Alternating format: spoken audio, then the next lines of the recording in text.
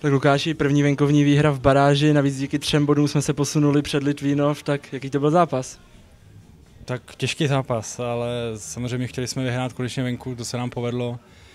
9 bodů je to, je to hratelný, myslím si, že, že pro to děláme všechno a super, super zápas. Samozřejmě oni hráli doma, tlačili, ale tak to bývá, že ten druhý tým pak vyhraje. No. Na začátku si tam přitom zažíval docela perný chvíle, že tam dvakrát po sobě zvonila tyčka za tvýma zádama, tak bylo důležité právě, že jsme přečkali vůbec ten úvodní tlak soupeře? Tak to je vždycky důležitý, že ten úvodní tlak, oni tam samozřejmě nás šli a dneska řekněme to štěstí jsme měli my, trefili tam dvě tyčky, pak, pak vlastně dali jenom jeden gol z těch šancí, což, což bylo super a my jsme konečně dali venku víc jak jeden gol.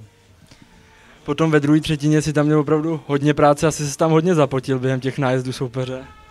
Tak bylo to dost, no, tam hlavně hrozný vedro, dneska tady jak už venku teplo a tam jsme byli snad tři minuty zavřený, ale naštěstí dopadlo to dobře a to je důležitý.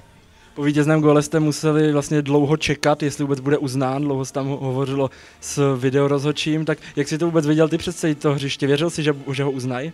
Mně to přišlo jako normální regulární gol, nevím, co tam řešili, jo, protože sice byla brána posunutá, ale když to udělá golman no, při zákroku, tak prostě ten gol platí, tak nevím, jestli tam řešili ještě něco jiného, ale já věřím, že to uzná.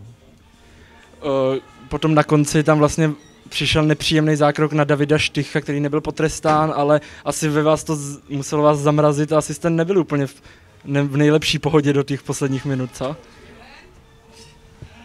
Tak já, já bych pravdu řekl, já jsem, já jsem to neviděl, on to bylo v rohu, takže nevím, co se tam stalo, se ho tam dohrál, jestli to byl faul, nevím vůbec a samozřejmě bylo vidět, že má krev, ale on je tvrdý, takže já si myslím, že se z toho vyspí.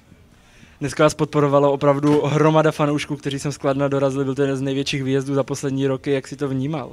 Tak bylo to suprový a samozřejmě eh, jak jsme jeli na 2-1, tak, eh, tak vlastně tam byli už jenom oni, jo. Litvínovské vůbec nebyli a byli slyšet podle mě víc celý zápas a je to, je to pro nás super, takže nás pozbuzují a jezdí v hojném počtu, je to, je to paráda. Teď nás čeká venkovní zápas v hlavě, tak budeme do ní asi vstupovat vůbec v ideální náladě po těch dvou výhrách. Jo, tak ale samozřejmě každý bod se počítá, takže my tam určitě jdeme nějaký bod urvat a doufáme, že, že se nám to povede.